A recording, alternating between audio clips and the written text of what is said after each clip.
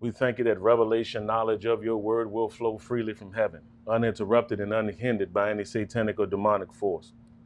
Holy Spirit, I ask that you speak through my vocal cords and think through my mind. None of me, all of you. We pray that every ear is anointed to hear, every heart is open, ready to receive the engrafted word of God, which is able to save our souls. And we bless you for it and we thank you for it this day.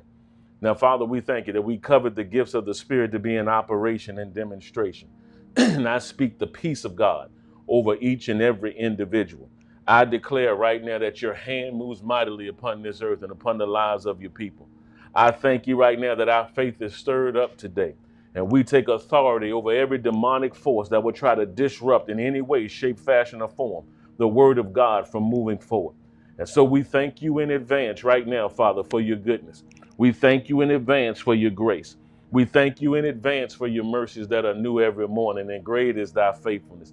For you are a good God, and there is none like unto you. So we bless you in advance. We thank you in advance for the good word of God that comes for, forward today. And so, Father, we believe that we receive to see the goodness of God in the land of the living. We bless you and we thank you for it now. In Jesus' mighty name, amen. Welcome to Spirit of Fire Fellowship. I'm Pastor Mike Maye here in the great city of Richmond, Virginia. We want to welcome everybody to our online worship experience. We just thank you guys for showing up today. We want you to take this opportunity to click share, um, your likes, your subscribes. If you're on our YouTube channel, make sure that you subscribe. If this is your first time coming on, click the notifications button so that you can be alerted of new content that's being uploaded um, to our YouTube channel. If you're on Facebook, we want to thank you. Want you to set some watch parties now for people that need to hear this word that's coming forward today.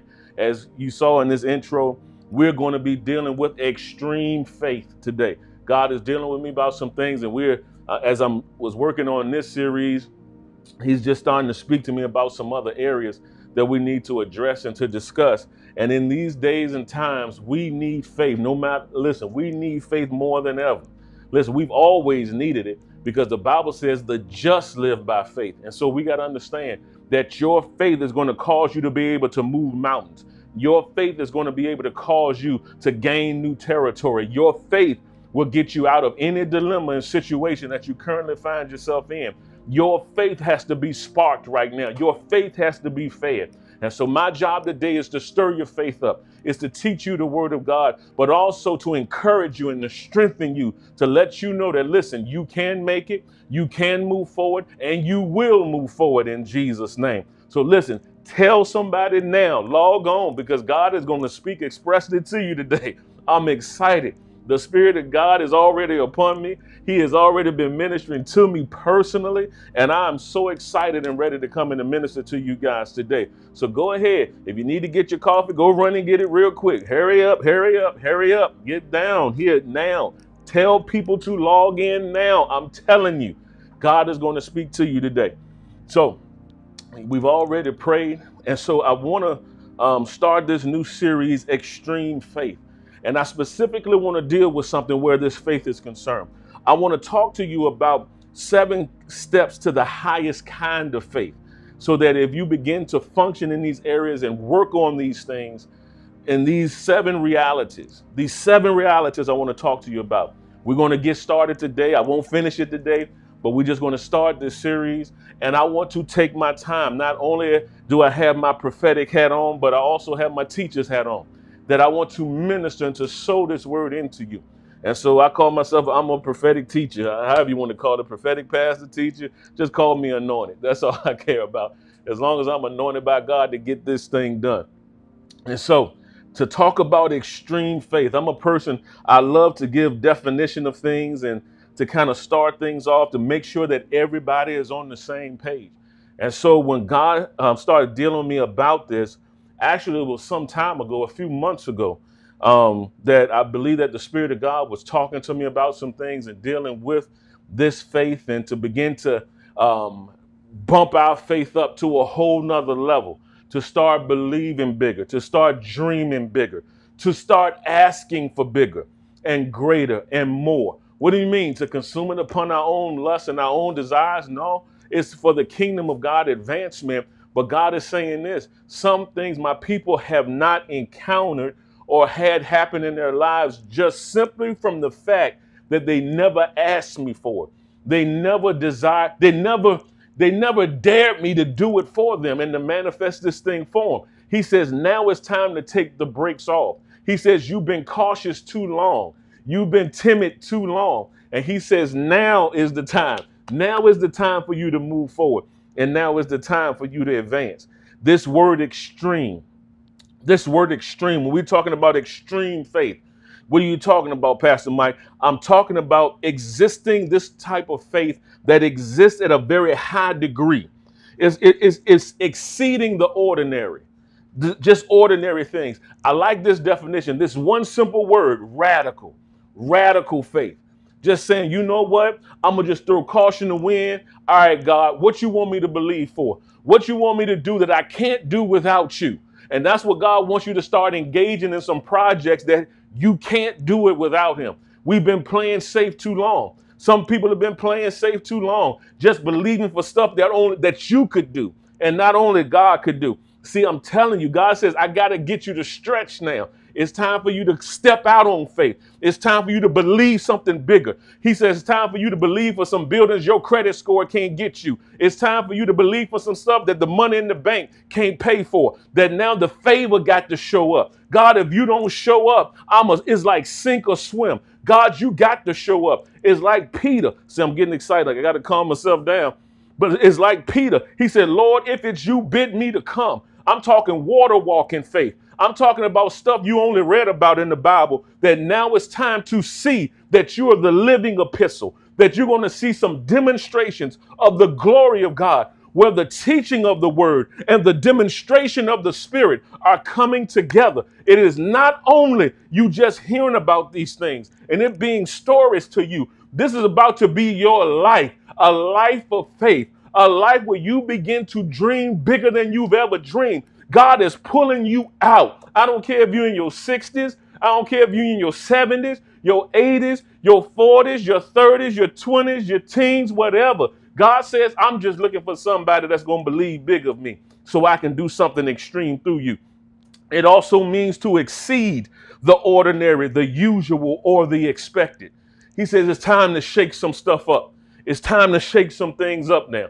It's time to shake some things up. And this is a radical transformation, a radical transformation that God is doing in the people's lives. And he says this I want you to begin to encourage, I want you to teach, I want you to strengthen my people in this thing that I'm doing in their lives. And he says, Now is the time.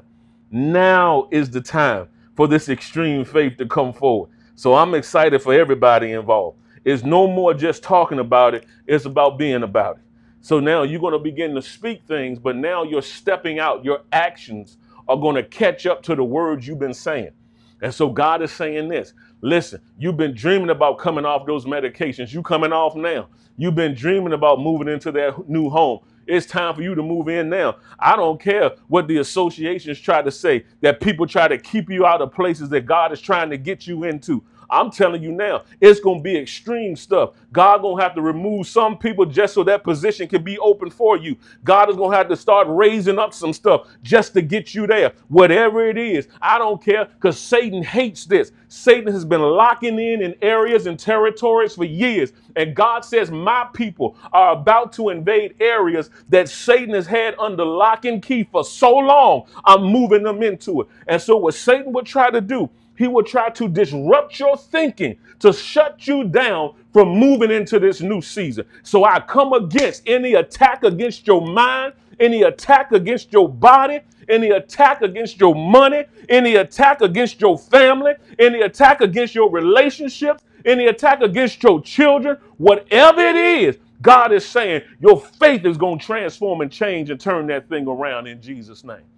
All right, okay, now I got that all out. okay. I'm coming out the gate blazing. So now, now, now, now, now, okay, okay, okay, let's reel this in now. So come on, let's dig into this. He says, What are these seven steps, these seven realities, these seven keys, these seven points I want to start talking about? So today I want to start talking about number one to, to, to develop this type of extreme faith, this type of mountain moving, burden removing, yoke destroying power to manifest is number one, the integrity of the word of God. What you mean? It's just that simple. The integrity of the word of God. First, you need to know that the word of God is actually what it declares itself to be. You got to believe God's word. You got to believe God's word. You got to believe God's word. There are many people who want to just just go around and float in the spirit, but now when it comes to the word of God, it's the anchor to your soul. Do you have enough understanding, revelation, insight, knowledge? Do you believe that God's word is true? You got to understand something that the word of God is God speaking to us now in the present, not just past, not just future tense. And see, that's why this is important to know because that means that the word of God is always relevant.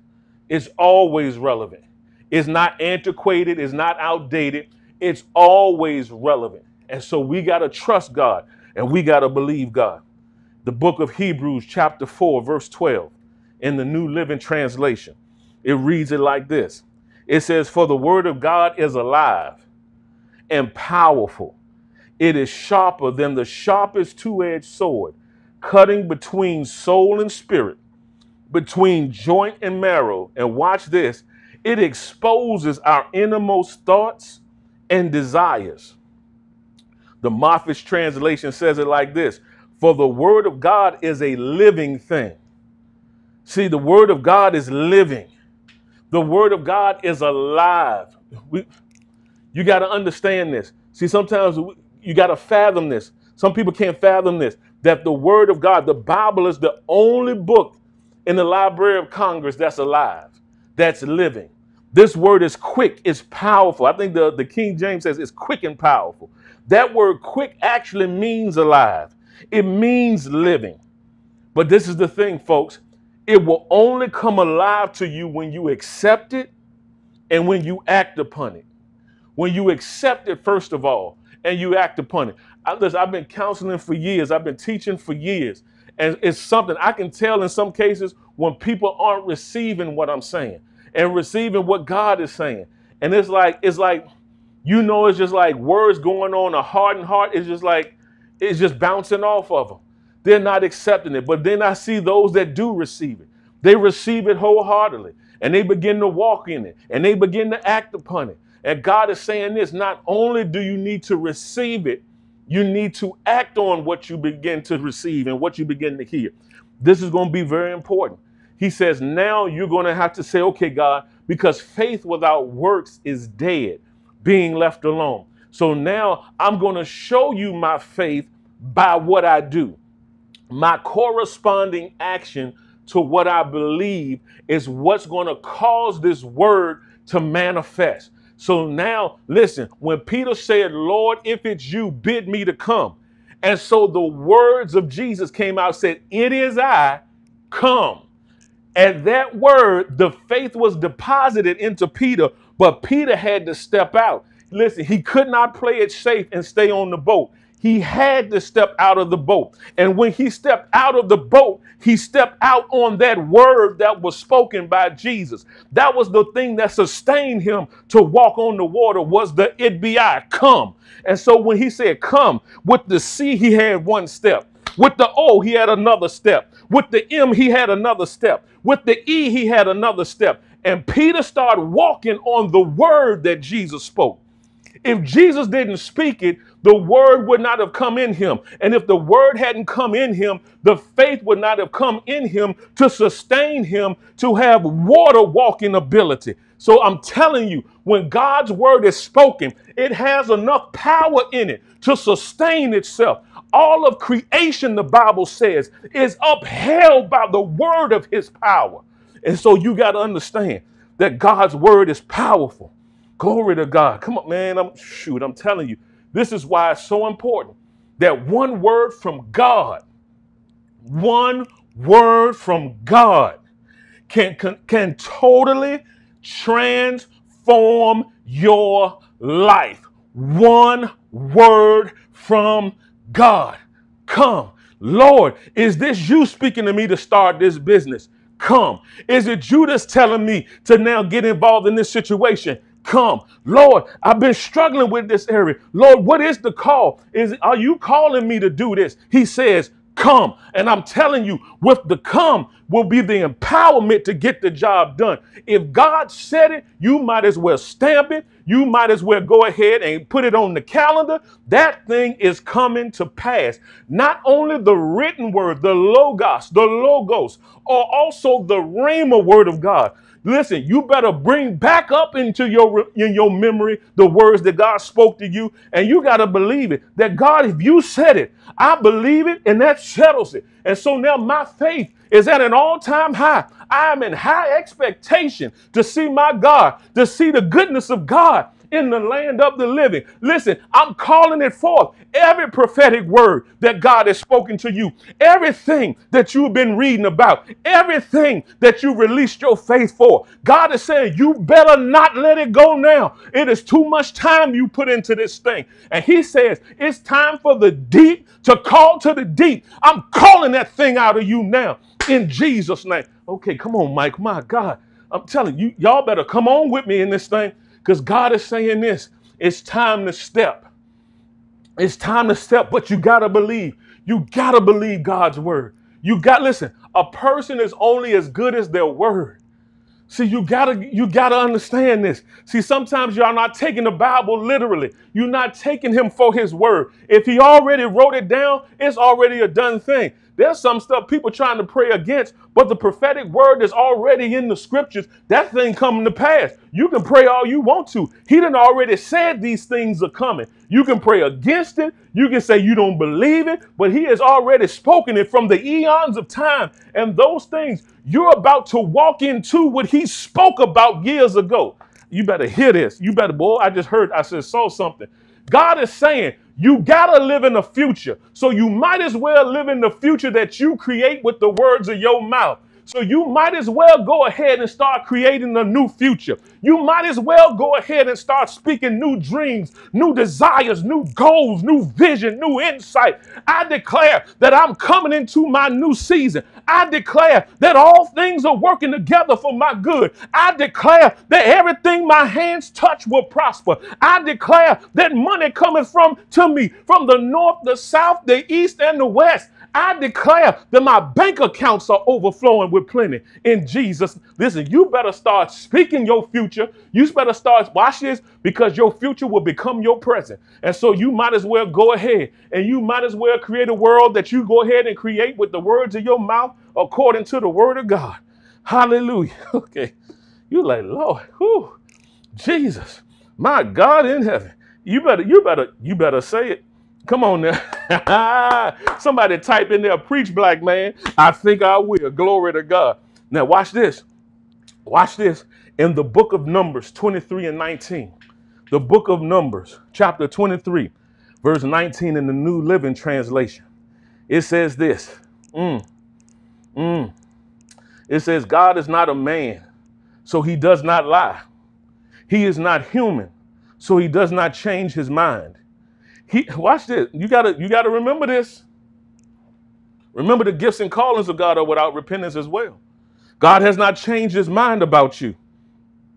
He has not changed his mind about what he spoke to you years ago that you failed to see just yet. He says, I didn't forget about it. My word's not gonna fall idly to the ground. He says, watch this. So he does not change his mind. He has, watch this, has he ever spoken and failed to act? Has he ever promised and not carried it through? Listen, you got to trust God. You got to trust God. I want you to say this say, I trust God. I trust God. I trust God.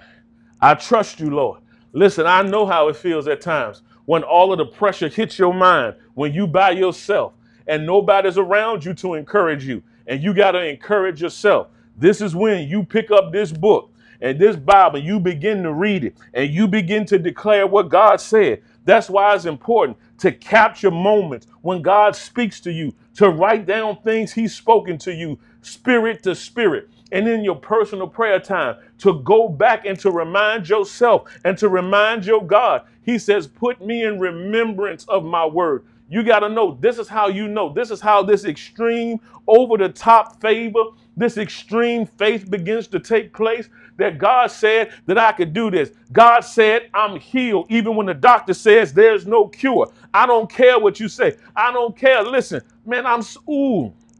It, man, it's time. I'm telling you, there is going to be an outpouring of the power of God like you have never seen because people are going to be stirred up to activate their faith and to see transformation and change. I'm talking about where doctors have to confirm, science is going to have to confirm what's already taking place in the spirit. And so it'll blow some of their minds. And there'll be some doctors who will come into the saving knowledge of the Lord Jesus Christ because of your testimony. God says now it's time to be bold in your faith. Don't you back down because you're afraid that it ain't going to happen. Well, what if I said and it don't come to pass? Uh-uh. It's time for you to let go of all of that stuff. It's time for you to have a swagger. It's time for you to have a level of cocky faith where you believe in God big for stuff. That listen, I don't care what people are saying. This like you've been saying that for years and I ain't seen it yet. Listen, I don't care. I believe it. And listen, listen. Ooh, okay, I'm, I'm I don't want to be in the flesh. I want to make sure I'm in the spirit.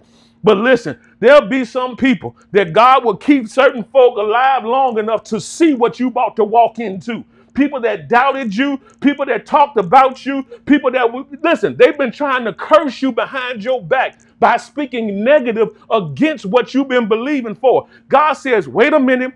I'm going to do a snafu on them. I'm going to begin to elevate you in their eyes and put you at a table in their presence where you're going to start eating. And then they're going to start sneaking around saying, What you do to get that? Listen, I knew where you came from. And God is saying, Now is the time for you to believe it. Now is the time for you to go forward. Listen, stop it, stop it, stop it, stop it, stop it. Don't you stop. Listen, I'm telling you what I'm hearing. Whew. Okay, calm down, Mike. Calm down. This thing is rushing through me so strong. He said, Listen, you better not back off now. If you were supposed to file that um, business license, you better go do it now. You better follow through what God has been speaking to you. Some of you have been waiting to see before you act. You've been trying to get the resources together to do what He told you to do. He says, if you do what I told you to do, I will cause the resources to attract to you. He says, why should I fund something that's out of order? Okay. If you were to go into a place and you were to see a vending machine and that vending machine had a sign that said out of order, would you put your money into that vending machine? Huh, huh. Why? Because a sign clearly states this machine isn't working is not working properly. And if you're not working properly, then God has nothing to fund because you're not doing anything. He says, if you will begin to do what I tell you, I will begin to fund it for you. And God says this I want you to try it again. But this time, He says, I want you to go ahead and prepare and you learn from the mistakes of the past when you tried to open that business and you tried to acquire that property and you tried to acquire that land and you tried to get that thing up and running. He says, This time, he says, This time your pride will be removed. Now wisdom will be granted unto you, information and knowledge to properly apply what you needed to do and to structure yourself for success this time. He says, Do it. He says, Do it. He says, Do it. For some of you, you don't need a physical location, you just need a virtual location. And if you get the virtual, God will begin to add clientele to you to assist you and to help you and to come into now, what's, what's the word? Patronize your business to now cause increase to come. Whatever it is, God got the answer for you. All right. I'm telling you, you got to trust God. If you believe in what a, for a loved one, if you want your relationships right, you got to trust God. You got to take God at His word to say, when you walk in love, this is how you demonstrate love. You got to trust God when He says, if you speak these things, I'll cause them to come to pass. You got to believe God's word when it says in Mark 9 23 that all things are possible to him that believeth. All things are possible. All things are possible. What does that word all mean? It means all, everything, everything all things are possible to him that believeth. All things are possible to him that believeth. I was in prayer yesterday, and as I was praying, I began to pray in the spirit. And as I began to get into the heart of intercession, I just kept hearing that ringing and I just kept speaking it for minutes that all things, all things, all things, all things, all things, all things, all things are possible. Come on, no, stop. Translate and meditate.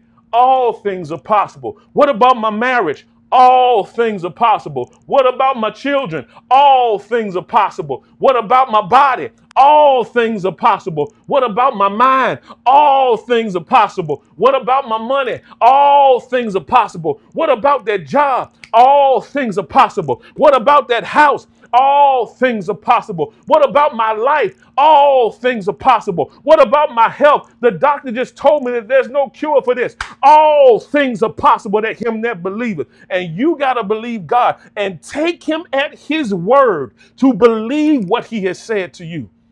Believe him.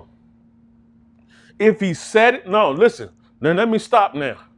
I don't want to just rile up your emotions. I want to sow this into you. If you read the scripture, you read it long enough, you speak it long enough until you convince yourself that this thing is true.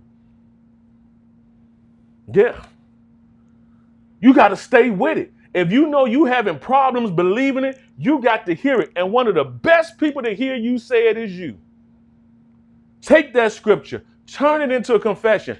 All things are possible for Mike when he believes all things. So that means whenever the thought comes, remember it's been too long. You made too many mistakes. Nobody gonna take you serious. Nobody gonna come and support you. Nobody's gonna come do. Wait a minute. Wait a minute. Wait a minute. Now the Bible says all things are possible. My God is on my side. He abides in me. He lives in me. He assists me. The callings of God, the gifts and the callings are without repentance. That means everything He put in me is still active. Everything He put in me is still fresh. Everything He put in me is still good. Everything, the calling is still there. The power is still there. Now I raise my confidence up to that level. And I don't care if God got to remove something and then replace it with something else. God, I'm expecting God to give me better than what I lost. Better than what I was uh, previously believing for. I don't care if you've experienced evictions. I don't care if you've experienced repossessions. Whatever has been lost, God is going to bring better back if you can believe Him for it. You better believe for better. You better believe for bigger. God is already transforming the house, getting ready for you to move into it now. He is already now. Watch this. You don't even realize that God is already setting somebody else up with a new job in a new state, and they're going to have to transfer and they got to get rid of their house instantly, and you're going to move right on into it. I'm telling you, you don't know what God is working on your behalf. You don't know what He's doing behind the scenes. You don't know what angels are working on right now because you've chosen to believe God. He said, Listen, somebody say, I believe. I believe. I believe. I believe to see the goodness of God in the land of the living. I believe. I believe. Glory to God. I like that. God ain't a man, he should lie. The Bible says it's impossible for God to lie. Do you do you understand this? Let me let me let me help you with this. Do you understand what this means? God does not have the capability of lying. Because whatever he says is. See, you got to come out of your natural human mindset. See, we can choose to lie because truth doesn't originate from us. We receive truth. Man, that's good, God. God is the truth giver. God is and always was and always will be. Everything exists in Him, around Him, and is supported by Him. So even there's something that's no such thing as a three-headed dog, and God said, "Listen, you better watch out. There's a three-headed dog by your trash can. You might as well go ahead and see it and get ready to see it because watch this. There ain't no such thing as that. It is now. Why? Because God said it. Let me say it again. Let me say it again. Let me. I, I feel somebody still trying to process what I'm saying. If it ain't created, He can create it for you. If the job ain't there and God says there is one there, Listen, you might as well apply because the job is there for you. God will cause the favor and the mindset of the CEO of that company to now create a position that has been designed just for you when you show up for an interview. Man, I'm telling you, I done seen this happen. Well, we listen, we first moved here from um, from Atlanta, moved back to Richmond, and I'm telling you, I was believing for a job. I went into the office of a building that I used to work at, a company I used to work for. I went in just to visit somebody. And I was still believing God for a job. Ran into an old co-worker and she said, Mike, she said, wait a minute, I just left a position because I got a new one. I can set up the appointment with you and the manager to talk. We set up the appointment, manager gave me the job. A day later, they offered me, or that same evening, they offered me the position. Why? I showed up in the right place at the right time. God had already had provision for me waiting. He already had provision set up. Your provision is already set. You just need to move. What if I never went to the building? You don't know how God is maneuvering you now. And you got to be open to the smallest thing. When he tells you to get into the car and ride to the neighborhood, to get into the car and go and visit somebody, to pick up the phone and call somebody. You know what? You was just on my heart. Man, I was just thinking about you. I'm sitting here doing this stuff. God, I'm telling you, God is already orchestrating stuff you've been praying out. It's time for you to move. And it's time for you to act. Hallelujah. Whew. Okay, my God in heaven. That's just number one. Hey, come on. Number two, I might have to end here today. My goodness. to, to, to, to develop this level of faith, and I started dealing with this a little bit, I believe, this past week, is understanding the reality of our redemption in Christ. Your redemption in Christ. You've been redeemed from the authority of Satan by the blood of Jesus. You and when I well, you know what that that word redeemed is an accounting term. It really means to buy back, to pay for, to reconcile the account of. It's like when Jesus died and shed his blood, it took care of the payment or the wages that death, that sin really owed us, which was death. Jesus paid that. And so now he says, okay, for death, I'm going to give them eternal life. For their sin, I'm going to give them my righteousness. I'm going to make them righteous in God's eyes by what I do, by dying on the cross, shedding my blood, so that now I take the penalty for their sin, and now they can take the reward for my righteousness. This is a powerful thing, folks. Our faith grows when we understand we have a blood bought right to receive what we're believing for. Jesus died so I could receive this. Jesus died so I could be healed. Jesus died so I can go to heaven. Jesus died for me to have eternal life. What, but wait a minute. Jesus died for me to rule and reign in this life as a king and a priest. So my faith in what the redemptive work of Christ has done will cause my really my faith, my belief in what he's done will cause my faith to be elevated to say, wait a minute, I'm a child of God. I'm a child of God. I can't listen. I refuse for this resistance that comes up. And see, listen, Satan is the God, little g of this world system. And he's going to try to now shut down your advancement in life, but you're going to have to exercise your authority and your faith over him. Yes, there's a lease that he has in this earth, and his lease about to run up, about to run out.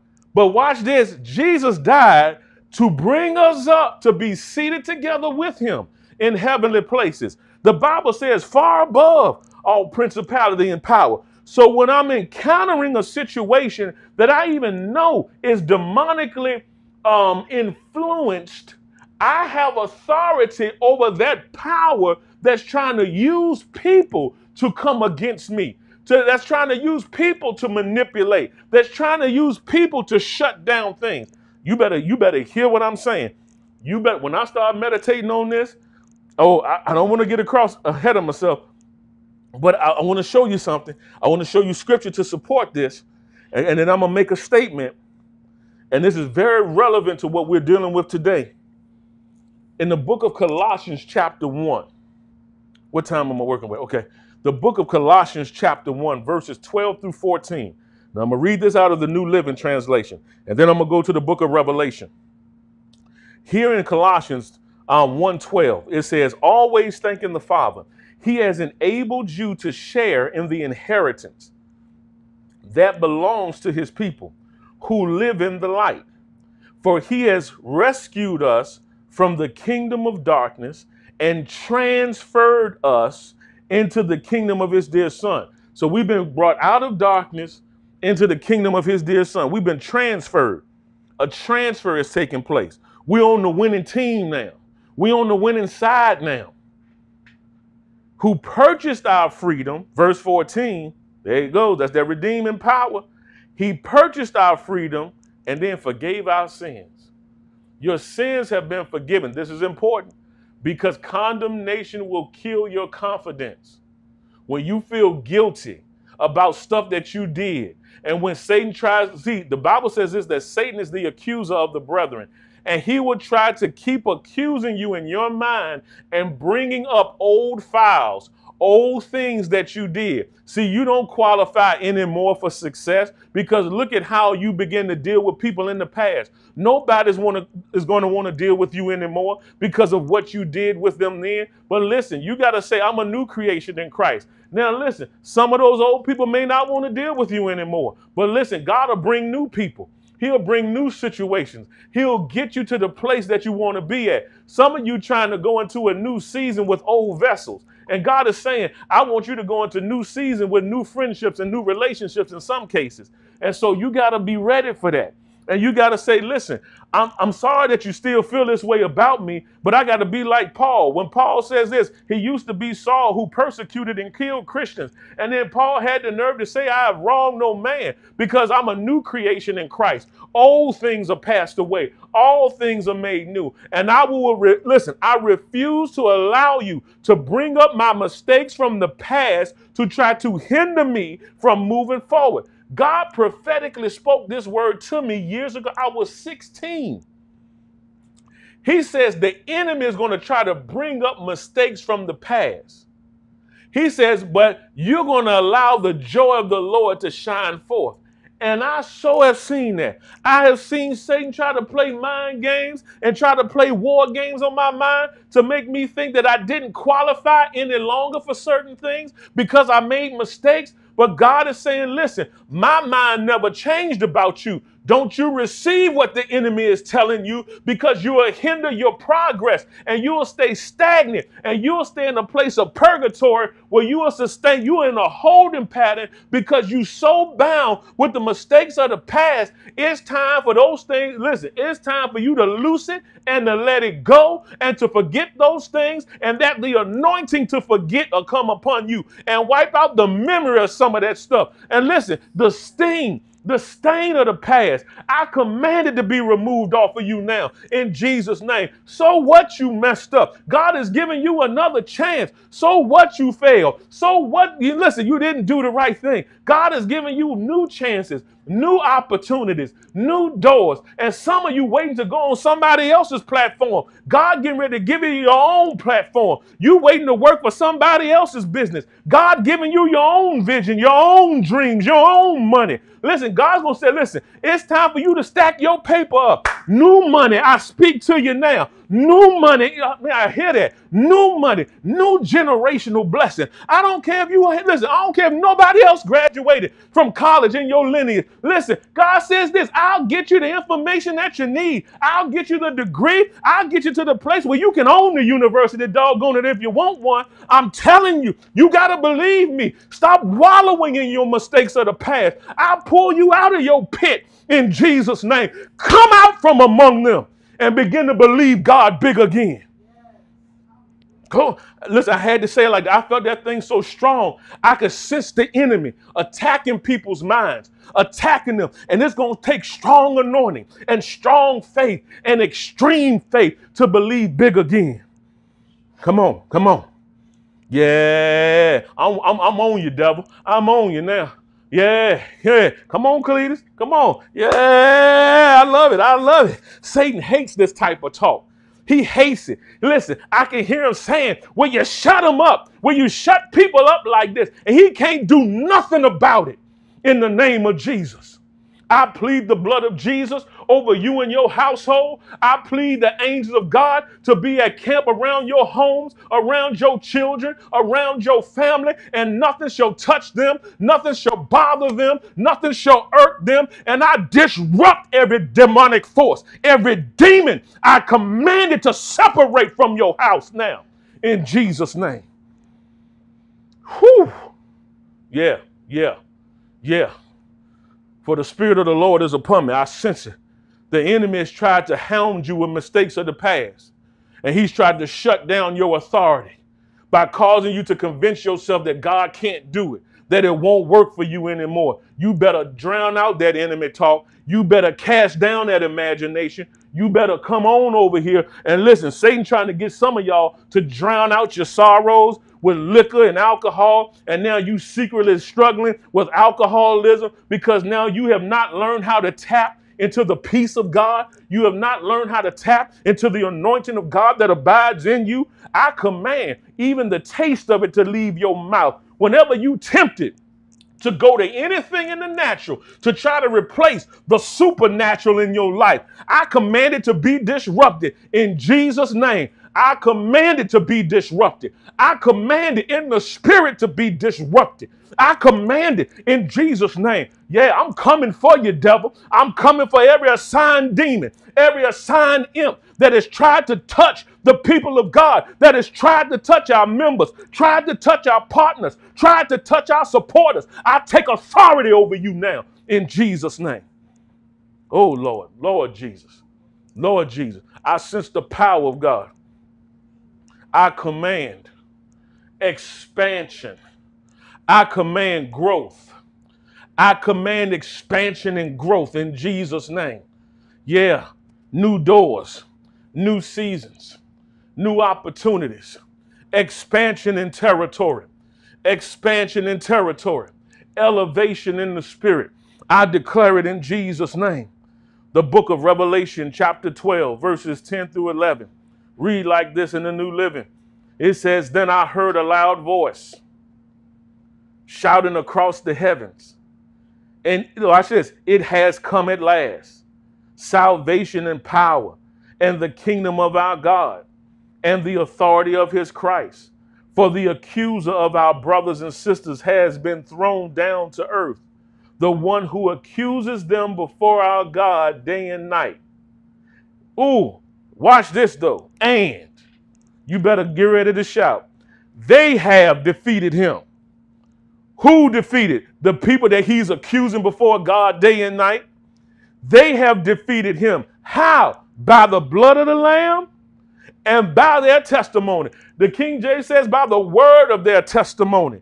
And they did not love their lives so much that they were afraid to die. I'm telling you, Satan has been accusing you before God. Well, watch this. This is why the blood of Jesus is so important. The Bible calls Jesus our advocate who is before the Father making intercession for us. Glory to God. He is reminding God, Father, remember what I did for him. Remember what I did for Mike. Remember what I did for Raquel. Remember what I did for Alexis. Remember what I did for Stacy. Remember what I did for John. Remember what I did for my people. Listen, you got to treat them just like you treated me. Glory to God. They are heirs of you and joint heirs with me. Their, listen, my blood has been shed for the remission of their sins. So you cannot treat them according to their sin. You have to treat them according to my blood. Glory to God. And so I overcome. We overcome by the blood of the Lamb and the word of that testimony. That blood has delivered me.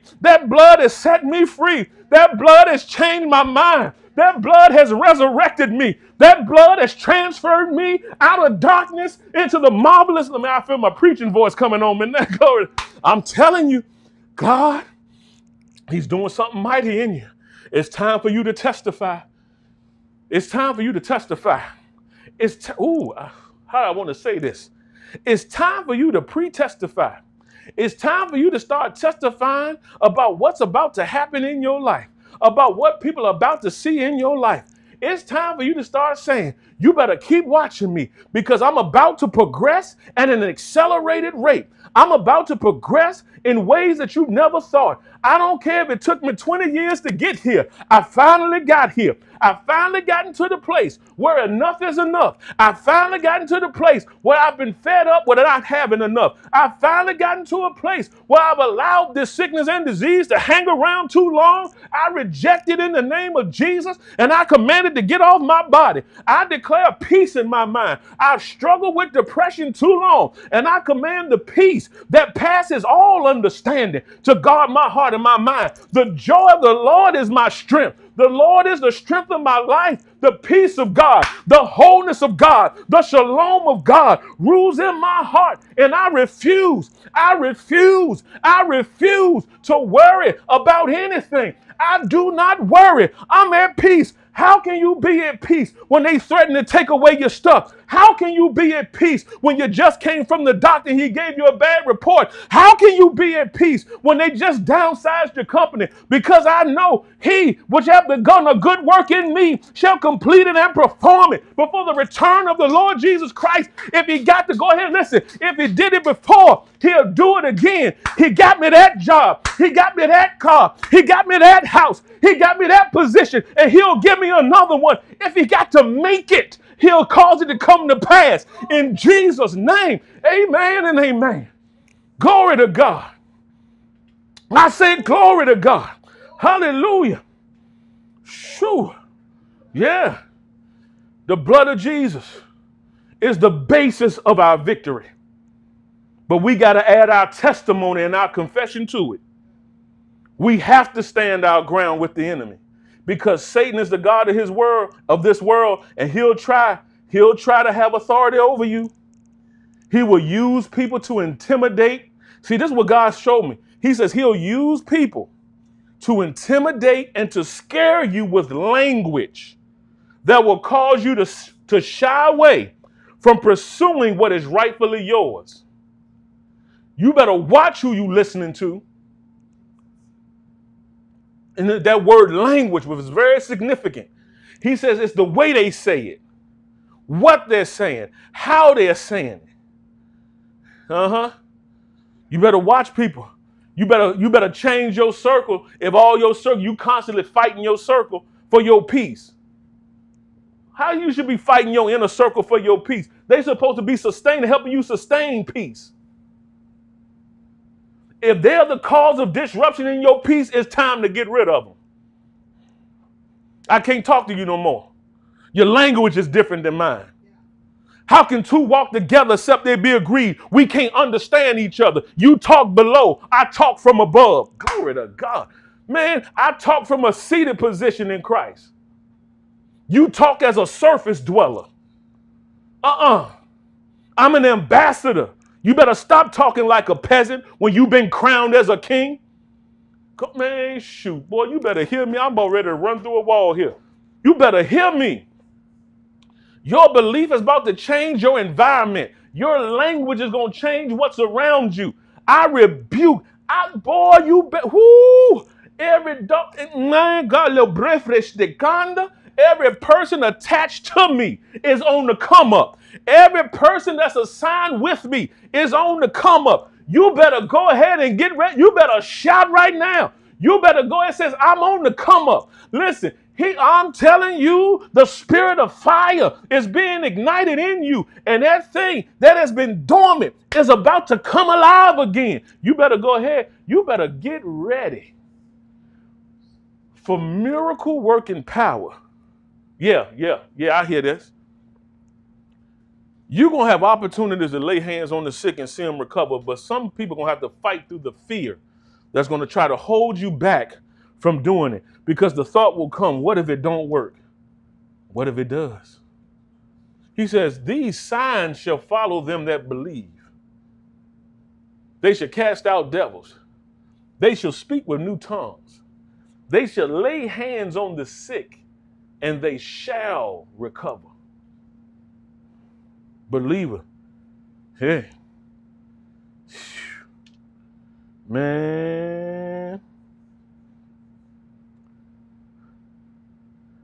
Satan's going to try to use people to use language. He says this is why we must not only be aware or knowledgeable of spiritual laws, but natural laws as well. God said that his people are destroyed because of a lack of knowledge. He says that my, they destroy because of a lack of knowledge. What, what do I mean by the natural laws? This is how I saw it. He says, My people need to be aware of how things function in this natural world. We're in this world, but we're not of this world, but we still are in it. He says, once you have understanding and application of natural laws, practices, and principles, and now you bring your spiritual to the table, I will cause you to be accelerated and go to a higher level. See, people in this world, scripture even talks about it. They're wiser. This generation is wiser in how they function in their system. They know their system. But we got to know their system and our system.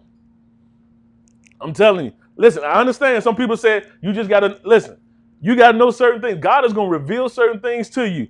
Listen, it could be from tax breaks to laws. See, people sneak laws into place because they know that certain people won't even pay attention to it because they don't run in those circles. And God is about to raise up men and women, prophetic voices that will go into these areas of influence and will begin to call out what's been covered up all along. And you're about to see new laws transform and reversed and re some some reinstituted. Lord, Lord, help me with that. Help me with that. Was it reignited, reinstituted? What's the word? One was reversed. Oh, reversed, not reinstituted, but instituted implemented. I'm telling you, before they hit the floor of the Senate, there are going to be certain laws that's going to be exposed. There are going to be certain governors that are about to be exposed that have tried to shut down things, but things that have secretly been going on in their lives are about to be exposed to shut down the process of the law that they're trying to get implemented. Oh, man. That means now you're going to have to change how you do things. Not only reading spiritual books, but reading some practical things. How to manage real estate, certain laws that govern it, certain things. Yeah, it's good that you pray, but when you get up from praying, what is your understanding of laws? Are you zoned for what you're about to build? Well, God told me to do it. Well, you still got to know the laws of the land. Render unto Caesar that which is Caesar's, but render unto God that which is God. It's time for your business acumen to increase, as well as your prayer language. Ho, ho, ho, glory. Yeah, yeah. Your intellect, as well as your spirit, is about to be heightened that when the Holy Spirit begins to come upon your body, even as Daniel in the book of Daniel, the Bible says that they were 10 times greater, but they were skilled in science. You're going to have to know some stuff. I'm telling you, the church has been elevated, has been, yeah, has been. And God is saying, I don't want you to be left behind. I want you to advance with move with the cloud. Don't be afraid of new technologies. Everything ain't the devil. Some stuff, yes, yeah, we know that in these end times there'll be certain things. Everything ain't the mark of the beast. That's just you having fear of change because you don't know it. That's really ignorance that's feeding fear. Certain things we got to be mindful of. Everything ain't the devil. And because you say it's the devil, you won't advance with it. God will let you know. He'll uncover and unveil those things. I'm I'm I'm out of time today. Glory to God. Definitely ain't out of message. Woo, glory. Yeah, extreme faith. Extreme faith. Extreme faith. Even if it's you write down one big thing you believe in for. Exercising your faith. Challenge yourself. Challenge yourself to grow. Challenge yourself. Mm. Let me say it like this you can't be lazy and go into this new season. You're going to have to restructure your life to fit where it is you're going. That'll determine if you really put it on in your life. Certain levels require certain sacrifices, certain disciplines. Don't be afraid of the new challenge because it'll become your new normal. Don't be afraid of it. Embrace it. Embrace change. Embrace change. Y'all know, y'all see certain things happening in the earth. We already here. Certain things are already lined up for Jesus to come back. The gospel is being preached all around this globe.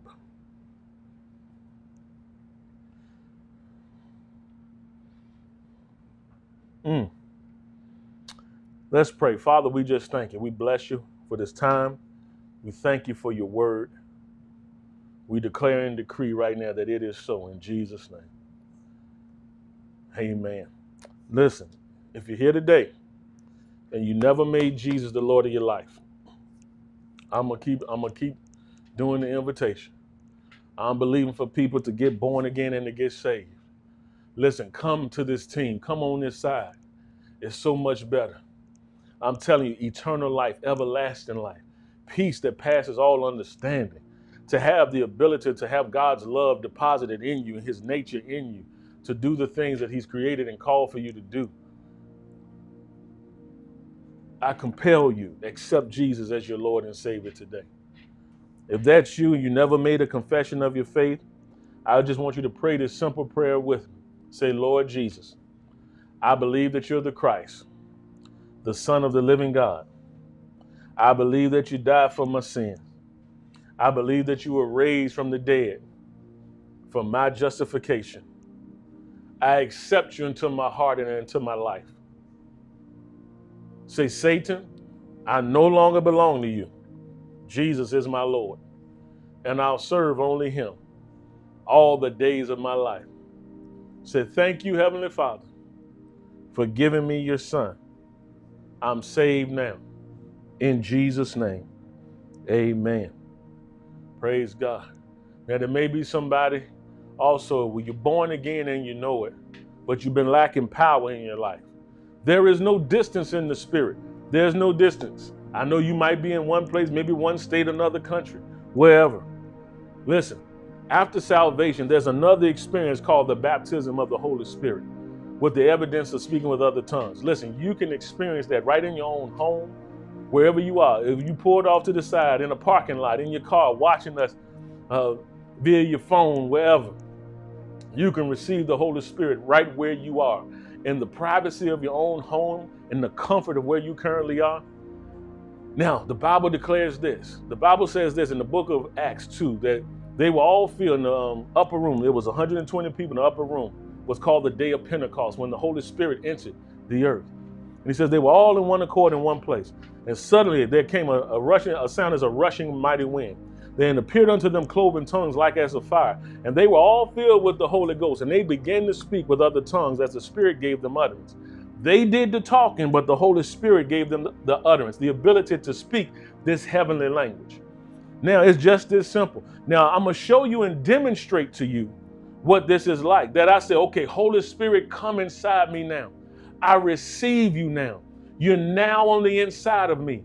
I now have the ability to speak with other tongues as you give me the utterance. In Jesus' name, amen. La roboshite cresete kamba. La ramando cobre. Que la mando masite combra. Now watch this. I'm doing the talking, but the Holy Spirit, who I just invited in to live in me, is assisting me and giving me the utterance, the words to speak. The Bible also begins to declare that further along in those passages that there were people around them of different nationalities, different um, sections. And they said that they heard the people speak in their native tongue and language. It was unknown to the people speaking it, but it didn't mean that it was just unknown to anybody. The people recognize, wait a minute, you talking in languages you shouldn't be talking in. See, this is what the Holy Spirit begins to do. He'll give you this heavenly language to communicate directly to God.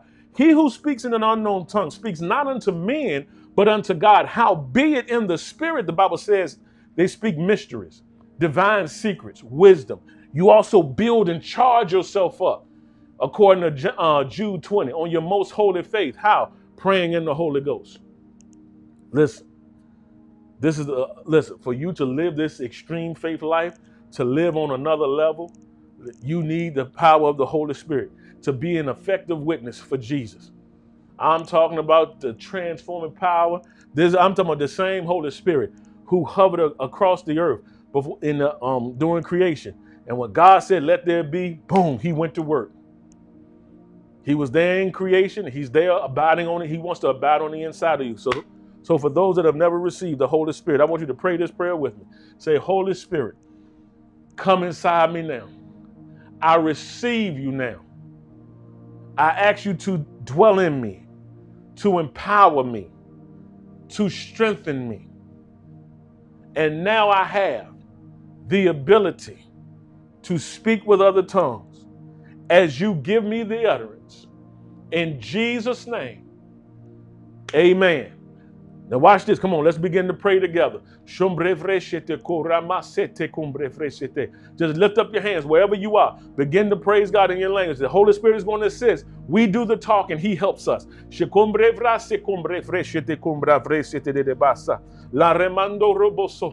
Hallelujah, hallelujah, hallelujah. Glory to God. Glory to God. All right.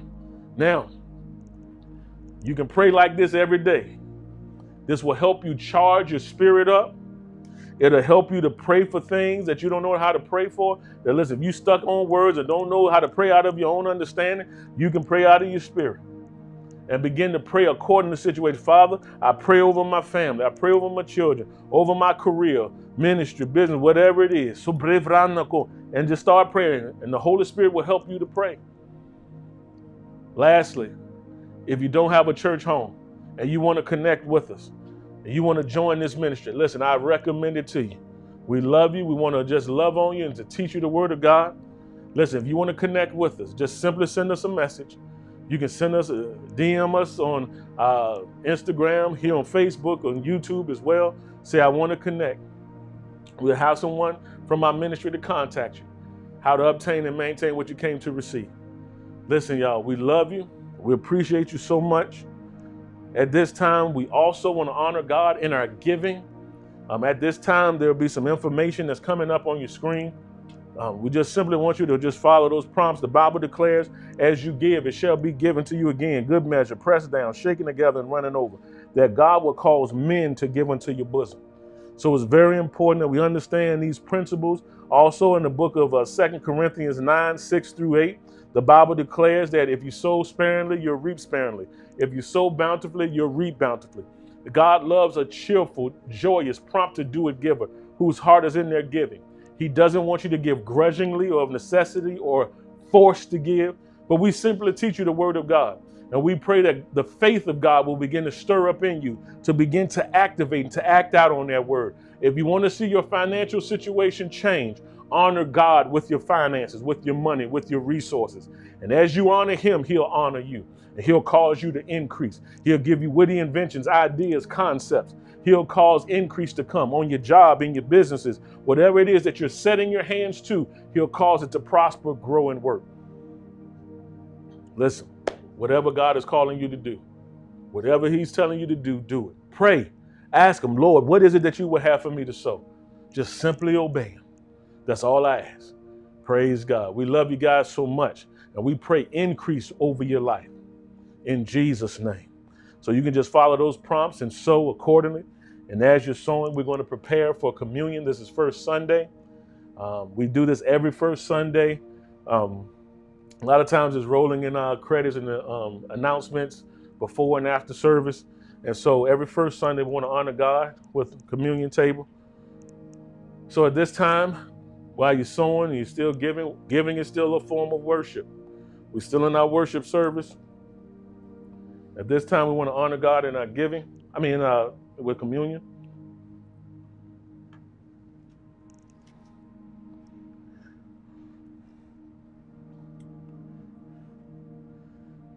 I don't always do this, but I'm going to do this today. I'm not going to take long with it. Uh, Out of First Corinthians I want to read this passage of scripture to you. Uh, 1 Corinthians, and it's chapter 11, verses 23 through 32. And it reads here, it says, For I received of the Lord that which also I delivered unto you, that the Lord Jesus, the same night in which he was betrayed, took bread. And when he had given thanks, he brake it and said, Take, eat. This is my body, which is broken for you. This do in remembrance of me. After the same manner also he took the cup, and when he had supped, saying, This cup is the New Testament, or that's new covenant in my blood. This do ye as often as you drink it in remembrance of me. For often as you eat this bread and drink this cup, you do show the Lord's death till he come. So this is why we do it to show his death till he comes, to understand the death, burial, and resurrection of Christ. He says, Wherefore, whosoever shall eat this bread and drink this cup of the Lord unworthily shall be guilty of the body and blood of the Lord. But it says, But let a man examine himself, and so let him eat of that bread and drink of that cup. For he that eateth and drinketh unworthily eateth and drinketh damnation to himself. Watch this, not discerning the Lord's body. So it's important. I want to just kind of settle this that once we understand in an unworthily manner, we understand that the blood of Jesus has washed our sins, cleansed our sins. But we want to make sure that we understand properly and not taking it for granted that we understand that this bread or this cracker, whatever it is that you're using, is now representative of the body of the Lord, which was broken for us. He took on 39 stripes with the cat of nine tails for our healing, for our wholeness in, our, in every area of our life. His blood that we have the juice that's represented will demonstrate will um, is a representation of his blood that was shed for us. See, if we don't understand it, that's how we do it in an unworthily manner, not properly discerning or understanding what this does. So that now we're just taking it, just eating and drinking. But no, we're doing this as a holy thing unto our God, that we recognize you, Lord, as now shedding your blood for the remission of our sins, your body being bruised and battered and torn and scarred and torn up for us, for our justification, for our healing and wholeness in every area of life. And so now he says, For this cause many are weak and sickly among you, and many sleep. This is why people walk in sickness and disease a lot of times, not rightfully understanding the rights that they have for healing and wholeness, and then how to apply it to their everyday life. He says, But when we are judged, he says, For if we would judge ourselves, we should not be judged. That's why we examine ourselves to get rid of things in our life, to see areas that we know that we're not doing right in. It's like, okay, God, I judge myself. I judge myself in this situation. And I begin to say, I'm going to make the corrections in my life. He says, But when we are judged, we are chastened of the Lord, that we should not be condemned with the world. God gives us an opportunity to correct things in our life before He gets involved. The Holy Spirit is there to convict us and to convince us. He says, but watch this, you got to get it right because whom the Lord loves, he chastens. It's just like me with my children. If I don't correct them if they're doing something wrong, I really don't love them. And so it's important as a parent that God, as our Heavenly Father, He wants to make sure that we're living this life because He knows the ramifications of doing bad deeds and wrong actions, and you can get caught up in things. And so He loves us. This is a symbol of His love for us. So we want to honor him today. So now, as we honor our God, Jesus said it like this This is my body, which was broken for you. As often as you eat it, I want you to do it in remembrance of me. Let's eat.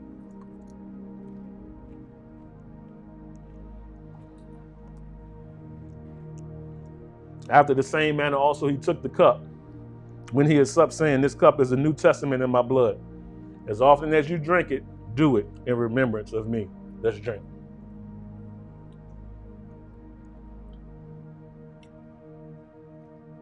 Amen.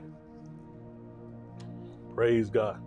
Well, y'all, I'm out of time. Not certainly not out of message. We love you guys so much. We appreciate you for tuning in today. We want to let you know that Jesus loves you, and so do we. And we here at Spirit of Fire Fellowship, we're changing the culture, igniting a passion, and living a dream.